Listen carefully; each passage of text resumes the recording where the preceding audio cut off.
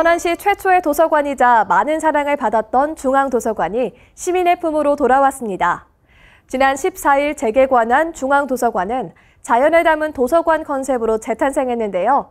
개방적인 열람 공간부터 커뮤니티 공간 확대로 쾌적한 도서관을 만들었고요. 천안학 자료관과 1318 체험을 신설하며 중앙도서관만의 특색을 더했습니다. 푹푹 찌는 무더운 여름 피서지로 중앙도서관에 방문해 보시길 바랍니다. 그럼 천안 뉴스 시작합니다.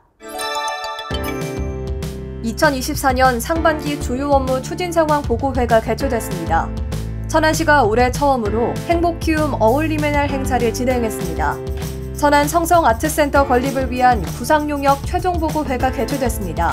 북면 6.25 참전 국가유공자를 기리기 위한 자리가 마련됐습니다.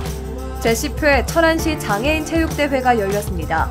이상 주요 뉴스였습니다. 민선 8기가 곧 출범 2주년을 맞이하는데요. 남은 임기 동안 더 나은 정책을 펼치기 위해 상반기 업무 추진 상황을 점검했습니다.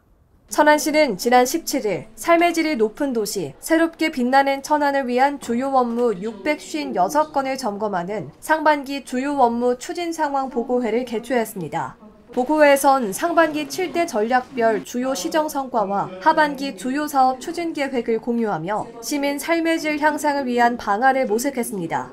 한편 천안시는 올 상반기 동안 2024 K컬처 박람회 개최, 시내버스 노선 체계 전면 개편 등을 선보였으며 앞으로도 빵빵데이 축제 개최와 천안 역사 증개축 사업 등 여러 분야 사업을 추진할 계획입니다.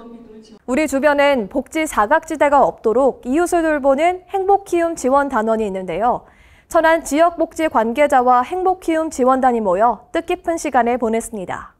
천안시는 지난 18일 행복키움 어울림의 날을 개최해 어려운 이웃을 발굴하고 문제를 해결하기 위해 활동하는 행복키움 지원단을 격려했습니다.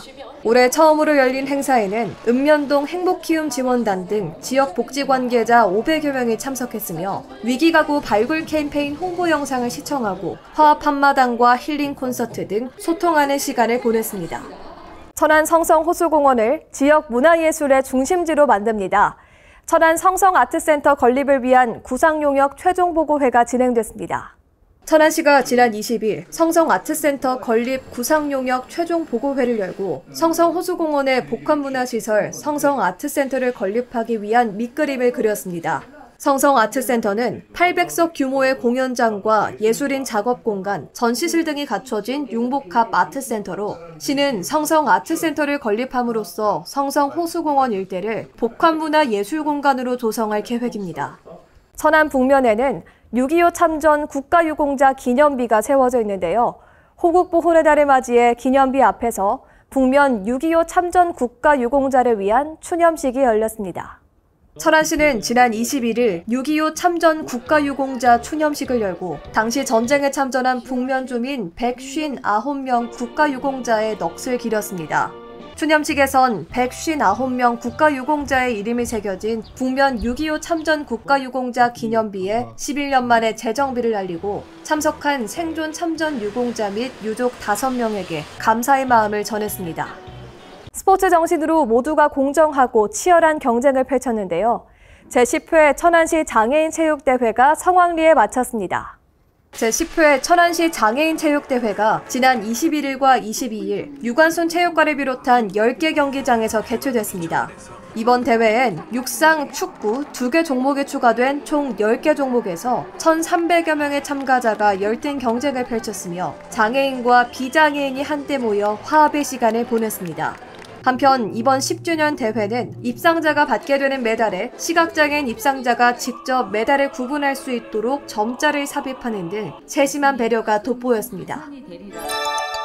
6월은 현충일과 6.25 전쟁 등 잊어서는 안 될 역사가 있는 달이죠.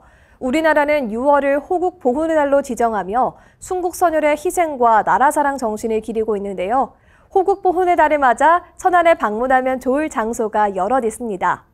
먼저 우리 민족의 역사가 담긴 독립기념관입니다. 특히 방문하자마자 보이는 결의의 탑과 결의의 집은 독립기념관의 상징물이기도 하죠.